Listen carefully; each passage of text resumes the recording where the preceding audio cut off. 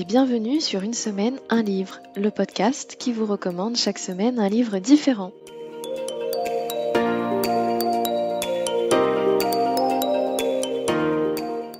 Je suis Elodie, passionnée de lecture depuis très jeune. J'aime les livres en tant qu'objet, mais j'aime surtout les histoires qui se trouvent à l'intérieur.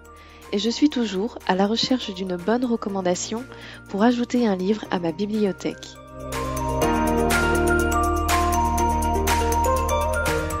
Tous les mardis, vous me retrouverez seul ou en compagnie d'un invité pour vous faire une nouvelle recommandation. Il s'agit d'un livre qui mérite d'être connu, qui mérite d'être lu, voire même d'être écouté.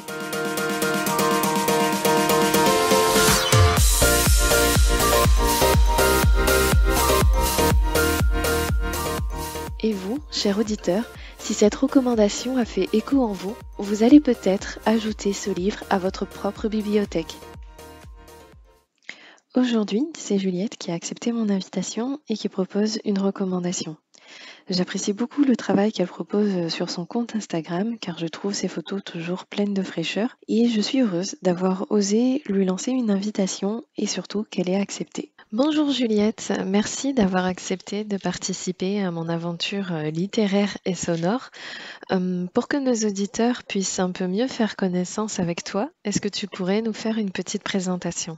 Bah, déjà, merci pour l'invitation. Ça me fait très plaisir de, de participer à un projet tel que celui-ci. Bah, déjà, je, je m'appelle Juliette, j'ai 23 ans et dans la vie, je suis architecte d'intérieur. Mais en dehors de ça, je, bah, j'aime beaucoup parler de lecture, surtout depuis quelques années sur Instagram, où j'ai un compte qu'on dit Bookstagram, sous le nom de Instabookeuse. Voilà, ça fait six ans que j'ai ouvert ce compte et que je publie des, des photos où je parle de mes avis lecture, de la littérature en général. Et, euh, et justement, au niveau euh, lecture, quel est un peu ton profil, ce que tu aimes lire habituellement et à quel rythme? Je suis plus dans le genre euh, young adulte, donc où on suit bah, des jeunes adultes dans plusieurs types d'histoires, il y a plusieurs genres et j'ai pas forcément de genre particulier, mais oui, je, je, de, je de préférence, on va dire. On pourra en parler après sur les favoris, mais au niveau du rythme, ça, ça a beaucoup changé ces dernières années en fonction de ce que je fais. Quand j'étais en études, j'arrivais plus à lire. Maintenant que j'ai un travail, je suis un peu plus lente. Donc si je devais donner une moyenne, ce serait actuellement, on va dire, 40 livres par an et 4 livres par, par mois, on va dire. C'est déjà un très bon rythme, 4 livres par mois. moi, je serais incapable de faire ça. Je pense que je suis plutôt à 2 livres par mois. Il n'y a pas de, de rythme parfait pour être un lecteur. Même un livre par an, ça suffit. Et du coup, grâce à ton compte Instagram, euh, tu travailles parfois avec des maisons d'édition. Mmh Est-ce que tu peux nous dire comment tu t'organises pour réussir en fait à, cultiver ta euh, curiosité littéraire? De te laisser surprendre euh, par des genres, de te laisser surprendre par des livres qui ne te sont pas forcément proposés par les maisons d'édition? C'est vrai que c'est difficile de sortir de ça parce que quand on est sur Bookstagram, on voit souvent les mêmes livres passer. Et donc, c'est souvent ceux qui vont nous taper dans l'œil et auxquels on va s'intéresser. Et c'est vrai que bah, s'ils marchent bien, c'est pour une raison, donc on, veut les lire. C'est dur de, de, sortir de ça et de trouver des pépites qui sont pas très connues. Et ça m'est déjà arrivé de, de tomber sur un livre qui m'intéressait pas forcément parce qu'en fait il n'était pas bien communiqué et au final c'était une pépite, une pépite incroyable et on n'en parlait pas assez et avec des copines au final sur Insta on a créé un groupe pour supporter ce livre parce qu'il a failli ne pas avoir de suite en français et au final il a eu il a une suite qui va bientôt sortir et donc si je devais donner un nom à ce livre parce que je parle d'un livre sans donner son nom c'est Diabolique de S.G. Kincaid. Vraiment, on le voyait nulle part ce livre et il est sorti euh, comme ça. Je, je, fait, je connaissais pas le résumé et c'est comme ça que c'est devenu vraiment un coup de cœur. Je crois que tu lis beaucoup de sagas. Ouais, principalement. Ouais. Est-ce qu'il y aurait dans ton parcours de lectrice un livre euh, one shot qui t'a marqué? Mmh, Les one shots, c'est plus souvent dans des contemporains que je vais aller parce que c'est rare qu'on ait des fantaisies ou du fantastique euh, en one shot parce que faut beaucoup de développement. Alors que dans un contemporain, c'est souvent dans un univers qui se passe, euh, dans, dans un univers qu'on connaît déjà, qui est le nôtre. Donc c'est plus facile de créer, de se concentrer plus sur des personnages, sur euh, sur l'histoire. Alors euh, il y en a plein, il y en a tellement. En fait, j'aurais plusieurs livres d'une même autrice qui qui me viennent. Ce sont les livres de Marie Pavlenko. Donc je suis ton soleil, un si petit oiseau, et, et le désert disparaîtra. C'est que des one-shots, mais c'est des très beaux one-shots. C'est vraiment toujours des histoires avec un personnage principal très touchant, qui à chaque fois quand je ressors du livre m'ont mis une claque, une très belle claque même, une claque qui fait du bien. C'est doux et c'est poétique. Il y a tellement de mots pour décrire ces livres, mais en tout cas le plus beau qui fonctionne, c'est magnifique. D'accord, donc au niveau one shot, c'est plus ces livres contemporains, alors que du côté des sagas, c'est plutôt le young adult fantasy. C'est ce qui trouve une place dans ton cœur. Tout à fait. Alors, du coup, on va passer au vif du sujet. Donc, est-ce que tu peux nous dévoiler quel est le livre que tu as choisi de recommander dans cet épisode? Alors, je voulais absolument parler d'une de mes sagas préférées que j'ai découvert il y a déjà trois ans, alors qu'elle est sortie pareil, à peu près 4 ans pour le premier tome. C'est Shade of Magic de V. Schwab, qui est publié chez Lumen Édition.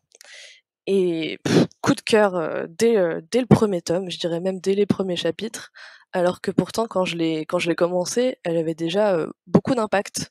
Les deux premiers tomes étaient sortis, elle avait déjà fait beaucoup de bruit sur Instagram et moi je me suis dit non je vais attendre je suis pas sûre j'étais pas sûre d'aimer au final. Vraiment quand quand j'avais lu le résumé j'étais pas très emballée et au final mais quel claque je me suis pris quand j'ai fini le premier tome. Je m'attendais pas du tout à avoir un coup de cœur pareil dessus et du coup, est-ce que tu peux nous en faire un, petit résumé? C'est dur de faire un petit résumé parce qu'au final, il faut d'abord un peu, un peu poser le contexte. Donc, euh, on va suivre un personnage qui s'appelle Kel, qui est un magicien qu'on appelle euh, de sang, c'est-à-dire euh, un Antari dans l'univers. C'est un personnage qui a la faculté en fait de traverser les mondes parce qu'en fait il y, a plusieurs mondes. On a quatre mondes qui sont reliés par euh, une seule et même ville qui s'appelle Londres. Donc le premier monde, euh, c'est quel en plus qui leur donne euh, ces noms-là C'est le, Londres gris. C'est celui qui est proche de notre monde en fait parce qu'il est dépourvu de magie. Et ensuite au-dessus on a le Londres rouge qui est le Londres dans lequel a grandi Kel. C'est son univers, c'est là où il a été adopté par la famille royale. Et dessus, après, on a encore le Londres blanc, qui est un Londres aussi qui comporte de la magie, mais qui est beaucoup plus froide, beaucoup plus pauvre et dictatorial, j'ai envie de dire, parce qu'il est, il est géré par des jumeaux qui sont assez avides de pouvoir, et c'est beaucoup moins la joie que dans le Londres rouge. Et le dernier monde, c'est le Londres noir, qui est un univers qui a été détruit par la, magie noire et qui dans lequel on ne va plus en fait, où il n'y a plus rien, c'est vraiment le néant, c'est le vide et qu'elle, il va avoir euh, le rôle en fait de d'émissaire, de traverser les mondes pour euh, donner des messages entre les différents euh, dirigeants de chaque monde. Et donc ce que je disais, c'est qu'il a été il a été adopté par la famille royale du Londres Rouge, ce qui fait qu'il a un frère adoptif qui est aussi un, presque un des personnages principaux parce qu'il est très très proche de Kel, qui, qui est le prince Rai, il y a plusieurs prononciations. On n'est pas tous dans la même team, mais ça s'écrit R-H-Y. Donc moi je dis Rai, qui est un personnage que j'ai adoré. Ça en fait c'était juste le contexte parce que sinon c'est hyper compliqué de, de faire un résumé. Parce que quand on va rentrer dans l'histoire, en fait on va on va découvrir qu'elle, mais on va aussi découvrir qu'il n'est pas seulement que messager, il a décidé de faire un petit peu des bêtises qu'elle en fait, c'est qu'il va profiter de ses voyages entre les mondes pour faire du trafic d'objets. C'est pas ouf. Mais en plus de trafic d'objets, souvent qui sont magiques, ça c'est interdit de faire traverser des objets entre les mondes depuis la destruction du Londres noir. C'est un peu risqué. À un moment, il va se passer quelque chose qui est pas du tout prévu et il va pas, il va un peu être dans la merde. Et c'est à ce moment-là qu'il va tomber sur euh, le deuxième personnage principal, qui est Layla encore une prononciation où tout le monde n'est pas d'accord, Lila, Laila, je dis plutôt à l'anglaise en disant Laila. Laila, c'est un, personnage incroyable, mon personnage préféré de tous les romans que j'ai lus. Elle vit dans, le Londres gris, et en fait c'est une pickpocket. Elle n'a pas les moyens de faire grand chose, donc euh, elle doit voler pour vivre. Mais son rêve, c'est de devenir une pirate. Et en croisant le chemin de qu'elle, elle va découvrir l'existence euh, des autres mondes, qui n'est pas connu du grand monde, et ça va changer sa vie. C'est comme ça que commence l'histoire. Donc c'est vraiment la rencontre entre les personnages qui va vraiment donner des aventures entre les deux, l'objet magique euh, qui euh, est très dangereux et qui va leur apporter beaucoup d'ennuis. J'ai envie de leur lire rien que d'en parler. C'est un résumé très long, mais c'est difficile d'en faire un cours. du coup, euh, Layla, donc je vais la prononcer comme toi. Layla, c'est une humaine comme nous qui vit dans le Londres gris. C'est ça, elle a pas de pouvoir dans un monde où il y a pas de pouvoir, pas de magie et elle fait cette découverte justement de la magie. Ça a l'air d'être, heu, d'être intéressant. Moi, j'aime bien le principe de de passer d'un monde à l'autre. C'est, heu, ça me rappelle aussi, heu, je sais pas si tu connais, heu, moi ça a marqué mon enfance, c'est, Les Quêtes et les Mondes des Willan de Pierre Bottero, où c'était des passages, d'un monde à l'autre, j'ai lu quand j'étais adolescente et ça m'a, vraiment marquée en tant que lectrice et j'y pense, souvent. Je l'ai pas lu mais je connais, ouais. Ou un peu comme Narnia aussi. Mais ce qui est bien en fait avec, avec ces univers des Londres, c'est que, bah, déjà ils sont reliés par la même ville, qui ont presque la même map en fait. C'est vraiment ils se ressemblent, c'est-à-dire que quand tu vas traverser dans une certaine rue, du Londres gris et bah, par le portail, tu vas atterrir dans la même rue, mais dans le Londres rouge, qui est complètement différent, tu vois? Mais c'est quasiment la même rue et à chaque fois quand il va traverser les mondes, bah, il atterrit presque au même endroit. Sauf que parfois, bah, le même endroit, ça peut être dans une maison, tu vois? Et donc heu, parfois c'est pas toujours, heu, fiable, mais mais à chaque fois c'est c'est vraiment drôle. C'est vraiment un peu comme des couches en fait les Londres. S'il veut aller dans le Londres blanc alors qu'il est dans le Londres gris, bah, il doit d'abord passer par le Londres rouge. C'est pour ça que j'ai commencé par Londres gris, Londres rouge, Londres blanc et Londres noir. C'est vraiment ils sont superposés comme des couches. Donc heu, tu nous as dit que Leila était, heu, ton personnage, heu, préféré. Est-ce que tu peux nous parler un peu plus d'elle? Bien sûr. Alors vraiment Leila quand on la rencontre au début, donc on découvre, son rêve, un peu sa vie, qui n'est pas qui n'est pas toute rose du tout. On essaie de comprendre pourquoi en fait elle veut atteindre ce rêve et comment elle va y arriver. Elle se donne vraiment tous les moyens pour, heu, avoir ce qu'elle veut et c'est pour ça que sa rencontre avec elle va être déterminante parce qu'elle y voit l'opportunité de d'obtenir ce qu'elle veut donc elle elle va la saisir directement. Elle a peur de rien. Clairement, elle a peur de rien. Moi, je pense que le mot badass a été inventé pour la décrire. Elle est impressionnante, elle est courageuse, elle est intelligente, elle est, heu, elle est tout sauf une, heu, femme en détresse qu'on voit dans certains livres. C'est pas c'est pas Peach avec Mario en fait, c'est limite elle qui est Mario et qui va sauver, heu, qui va sauver Kel dans dans ses aventures et c'est ça que j'aime beaucoup. C'est vraiment un personnage qui a qui a besoin de personne. Je veux être aussi courageuse que Layla, je veux être, heu, avoir son ambition, sa détermination, c'est limite un modèle. OK.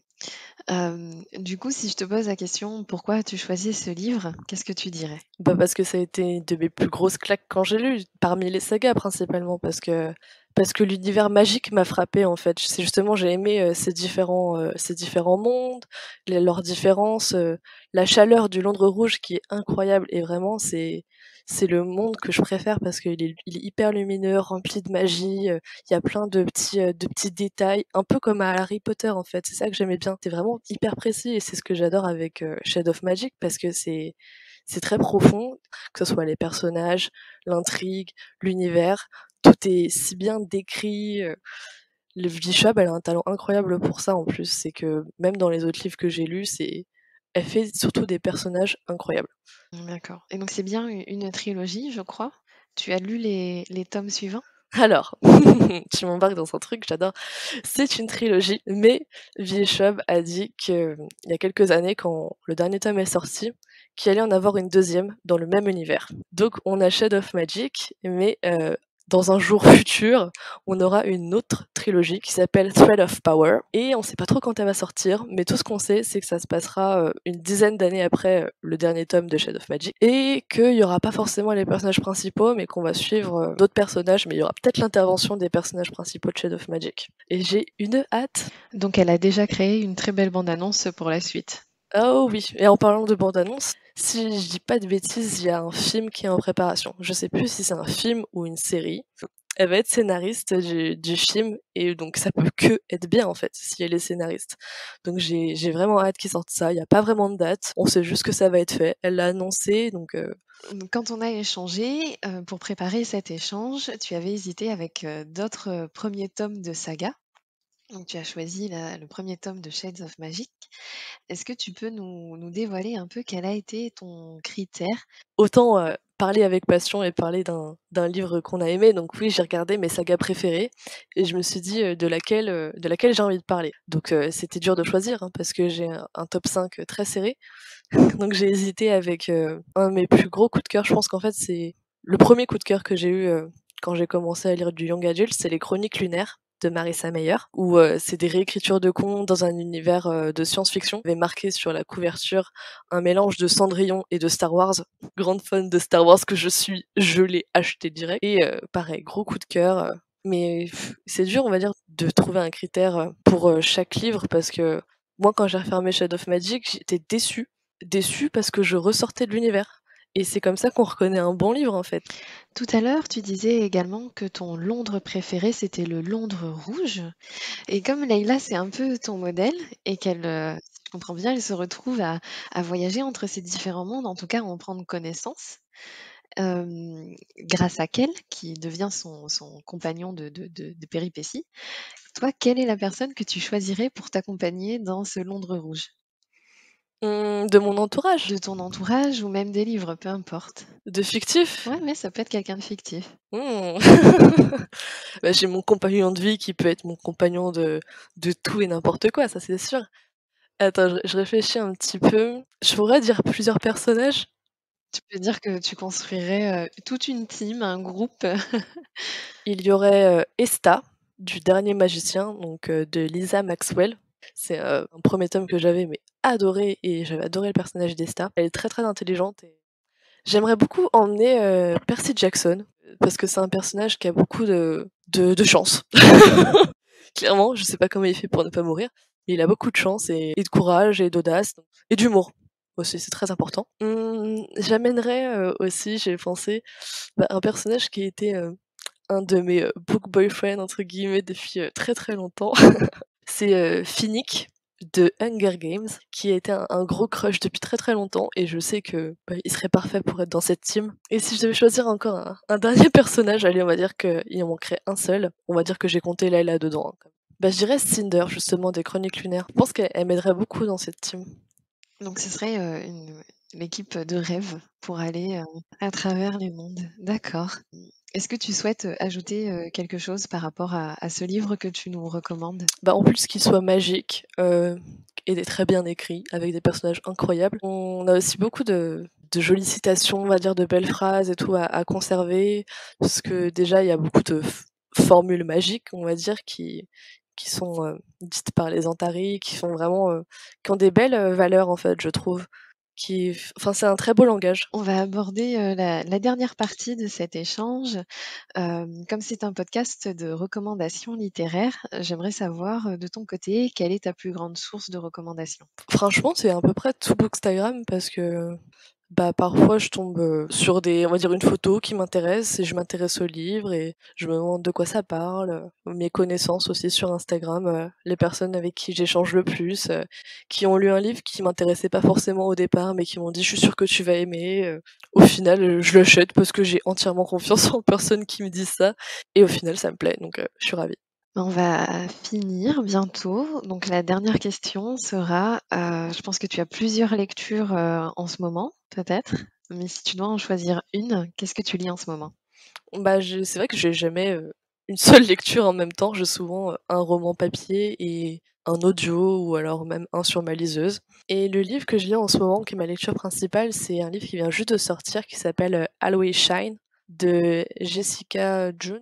Et c'est une histoire qui parle de, de K-pop, un truc que je ne connais pas du tout, parce que c'est écrit par une star de la K-pop. Et ça parle d'une fille qui s'entraîne justement dans un centre d'entraînement pour idol et qui veut tout faire pour réussir et, et qui va aussi se donner les moyens pour réussir c'est je m'attendais pas à autant aimer parce que c'est pas quelque chose qui m'était familier et pour une fois ça m'a sorti un peu de ma zone de confort même si c'est ça reste quand même une romance contemporaine mais en plus ça apporte beaucoup de diversité ce que j'ai très peu dans mes lectures et ce que je, je l'avoue et je le regrette d'ailleurs parce que je me rends compte que bah, c'est souvent les mêmes les mêmes personnages donc souvent blancs qui sont dans mes lectures et de voir bah, d'autres horizons d'autres perspectives trouver des livres qui parlent de K-pop alors que j'y connais rien, et ben ça me fait découvrir quelque chose que je connaissais pas et je trouve ça super bien. D'accord, bah, merci d'avoir partagé ça avec nous. Bon, du coup, on arrive euh, à la fin de cet épisode. Donc, euh, merci Juliette d'avoir répondu à mes questions, d'avoir consacré du temps pour cet épisode.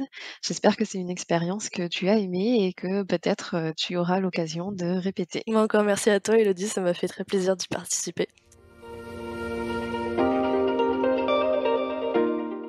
J'espère que vous avez aimé cet épisode et qu'il vous aura donné envie de lire. Vous trouverez dans les notes de l'épisode le compte Instagram de mon invité et le livre qui vous a été présenté. Si vous avez apprécié ce contenu, n'hésitez pas à le commenter sur Apple Podcast, mais également à le partager. En attendant le prochain épisode, je vous invite à venir échanger avec moi sur Instagram. Vous me trouverez sous le pseudo une semaine un livre underscore podcast. Je vous donne donc rendez-vous mardi prochain pour une nouvelle semaine et donc un nouveau livre.